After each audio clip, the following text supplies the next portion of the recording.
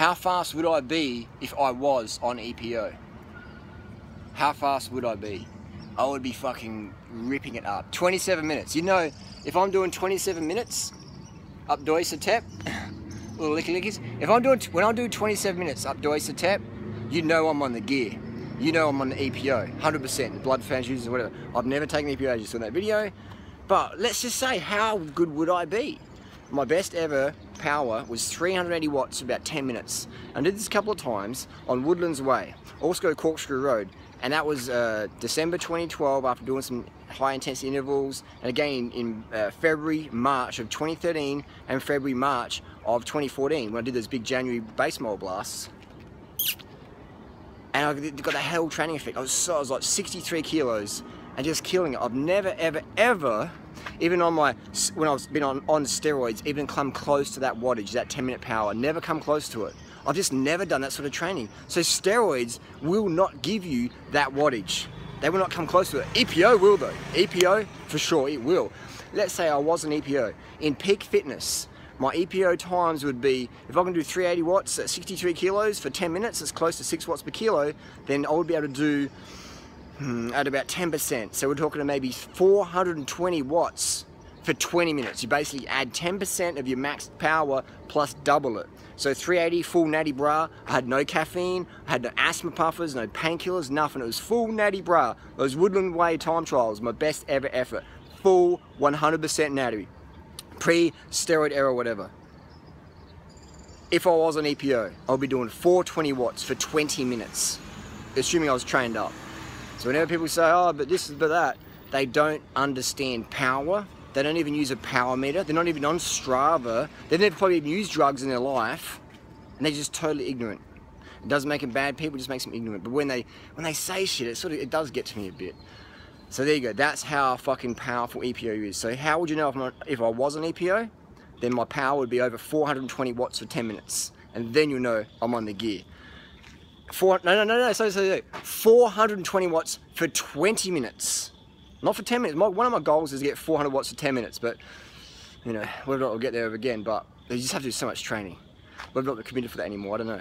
But 420 watts for 20 minutes is what Durianrider could do on EPO, okay? Like I said before, I've never ever used it. I've got plenty of friends who have used it. I can get it really fucking easy, but I've never ever used. I'm not afraid to admit stuff. I'm not afraid to do experience YouTube. I'm curious about stuff. And a lot of people out there are on steroids. And if I was on steroids, some people say I'm on TRT. If I was on TRT, I would be like fucking 90 kilo motherfucking soldier. I wouldn't be some pencil neck cyclist with skinny arms if I was on steroids. Have I used steroids before? 100% I have. My jaw surgery, if I had, had a, uh, that fight where I had foot pain in my uh, upper dental here, it definitely helps with recovery. Anabolics help with recovery. That's what they were designed for, people in hospital. So therapy, therapeutic usage of anabolics, in my opinion, is not the same as using them every fucking week on, like a TRT or something like that. So my anabolic experiments definitely improved my bench press, etc. But that's relative to me. Most people look at my bench press and laugh at it. So whenever uh, some people say, Durianrider's on TRT, that is the biggest motherfucking lie around. If I was, I would look like a motherfucking soldier, not a skinny pencil neck cyclist. People say, oh, but you ride a bike. I don't ride a bike enough to be this, this slim, this lean. This is dietary. If I was on the gas, as much as people say, like long term, some, someone said the other day I've been on gas for five years or something like that.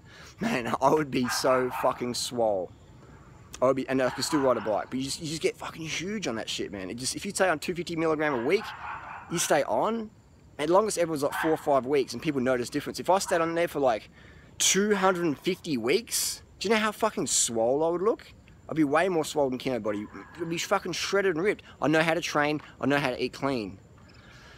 There you go, that's how powerful EPO is, that's how powerful anabolics are. If I was on anabolics, I'd be swole as a motherfucker. If I did just a four to six week cycle of EPO, my 20 minute power, would be about 420 watts. I know how to train, I know how to eat, I know how to push myself. I've never ever used EPO. Yes, I've used anabolics. Very small doses, very short period of time. Nothing enough to give me a real cycling benefit. But definitely with surgery, jaw surgery, corrective jaw surgery, I noticed a profound recovery improvement. And that, my friends, is the main motivation for it.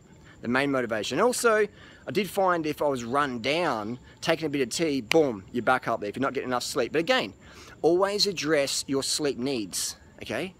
Always address your sleep needs. Always address your carbohydrate needs. Obviously, if you can't some, for some whatever reason, then yeah. But again, you can't treat the symptom, you have to treat the cause. Using any pharmaceutical product, whether therapeutic or otherwise, is it's a crutch, it's a band-aid, it's not treating the cause. You need to always address the cause. So hopefully that clears up any confusion. If you've got any questions, let us know down below. Do you want me to do a, I'd rather not do 100 fucking steroid videos, but if I have to, to clear the confusion, to educate my viewer, then that's what I have to do. Let us know down below. Got your questions? Let's roll.